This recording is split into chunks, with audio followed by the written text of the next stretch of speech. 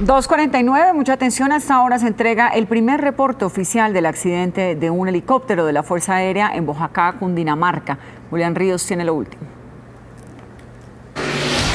Efectivamente, la Fuerza Aérea Colombiana acaba de informar que tres de los cinco tripulantes eh, que viajaban en este helicóptero fallecieron en el accidente. Dos de ellos eh, fueron trasladados al Hospital Militar en Bogotá. Nos encontramos con Gina Herrera, la directora de gestión de riesgo de Cundinamarca. Doctora, ustedes que llegaron al sitio, ¿cuál es el balance final y cómo está la situación aquí a 200 metros?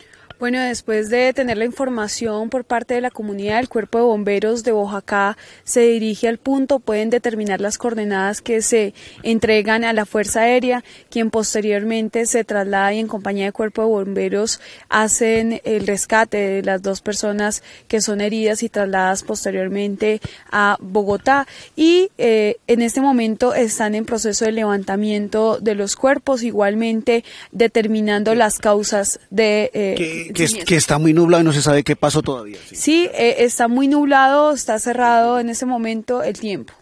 Doctora Gina, muchas gracias. Es la información en este momento que se presenta oficialmente y lamentablemente la Fuerza Aérea Colombiana acaba de informar que tres de los tripulantes fallecieron y otros dos sobrevivientes fueron trasladados al hospital de militar. Desde la vereda Chorro Blanco, en el municipio de Bojaca, Julián Ríos, Noticias Caracol.